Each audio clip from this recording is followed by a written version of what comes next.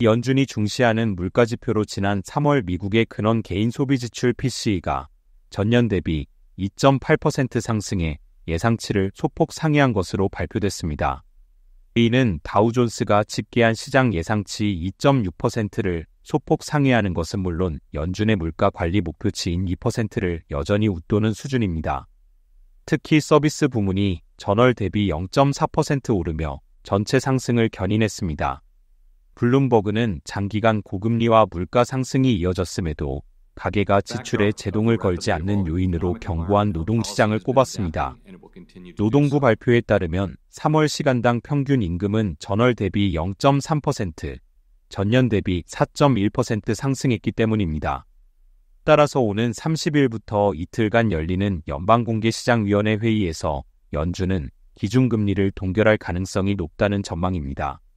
현재 연준은 지난해 7월부터 기준금리를 5.25%에서 5.5%로 유지하고 있습니다.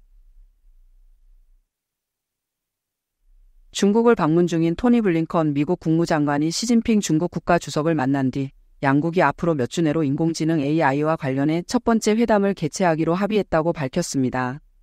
이 자리에서 시진핑 주석은 중국과 미국은 경쟁자가 아니라 파트너가 돼야 한다고 밝혔습니다. 시 주석은 중국과 미국은 양국 관계에 있어서의 3대 원칙으로 상호 존중과 평화 공존, 그리고 윈윈을 위한 협력을 이루어야 한다고 촉구하는 등 양국 간의 긴장 완화가 필요함을 역설했다는 보도도 이어졌습니다.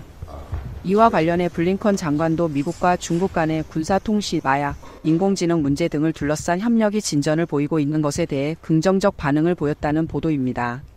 하지만 블링컨 장관과 중국 외교 장관과의 회담에서는 대만 문제와 미국의 대중 수출 규제, 남중국해 문제, 우크라이나 전쟁 등 민감한 현안을 놓고 상당한 견해차를 보이며 곳곳에서 충돌하기도 했습니다.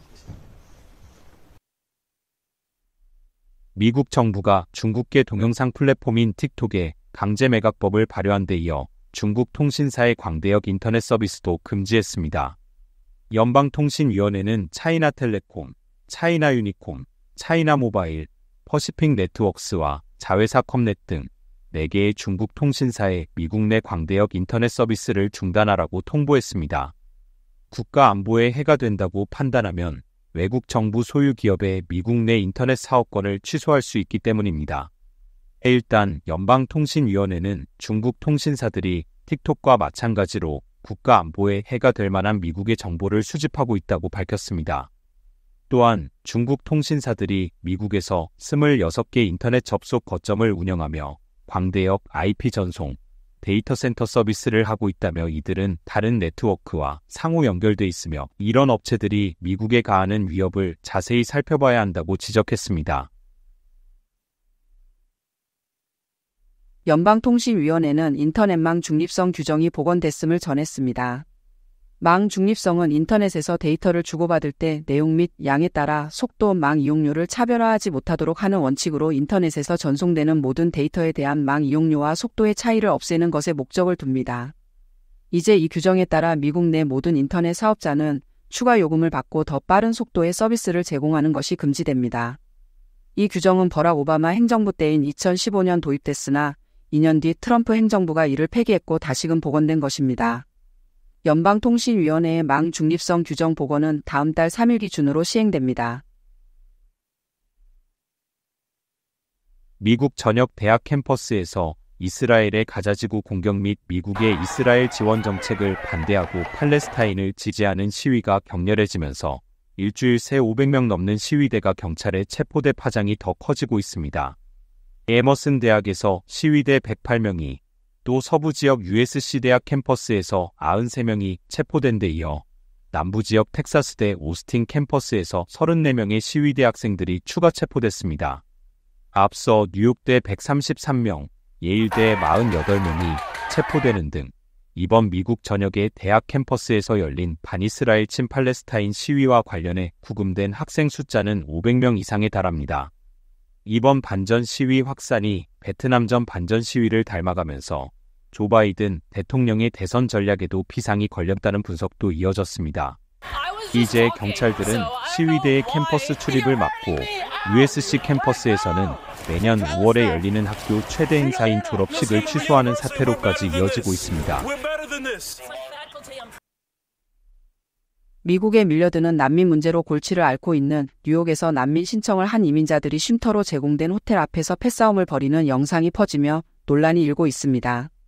난민 12명이 벨트와 막대기 등을 휘두르며 집단 난투극 상황이 담겼습니다. 사건이 발생한 장소는 맨하튼 8번가에 있는 더로 호텔 앞으로 이 호텔은 멕시코와 미국 국경에서 유입되는 망명 신청자들을 수용하기 위해 개조된 수십 개의 호텔과 보호소 중 한 곳으로 뉴욕시가 2022년 10월 4천만 달러를 내고 계약을 체결했습니다. 이 영상은 올라온 지 사흘 만에 조회수가 15만 회를 넘긴 가운데 네티즌들의 바이든 정부 비판도 이어졌습니다. 한편 일부 난민들이 여러 범죄에 연루되면서 이들을 바라보는 시민들의 시선도 싸늘해지고 있다는 보도입니다. 최대 약점인 고령 문제를 덮기 위해 조 바이든 미국 대통령이 헬기를 타러 오가는 길에 참모들을 대동하기 시작했다는 보도입니다. 온라인 매체 악시오스는 바이든 대통령은 전용 헬기인 마린원에 탑승하기 위해 백악관에서 나와 정원을 가로질러 갈 때 혼자 걷는 대신 참모들과 함께 이동하기 시작했다고 보도했습니다. 관절염 때문에 뻣뻣한 걸음걸이가 혼자 걸으면 더 부각된다는 이유에서입니다. 참모들이 바이든 대통령과 카메라 기자들이 자리 잡은 위치 사이에서 걸으면서 대통령의 걸음걸이를 커버하는 효과를 노린 것이란 보도입니다. 또한 바이든 대통령은 공개석상에서 넘어지는 것을 막기 위해 밑창이 넓고 두꺼운 호카 브랜드 운동화를 자주 신으며 전용기에 탑승할 때 계단을 덜 올라도 되도록 전용기의 하층 입구로 들어간다고 전했습니다.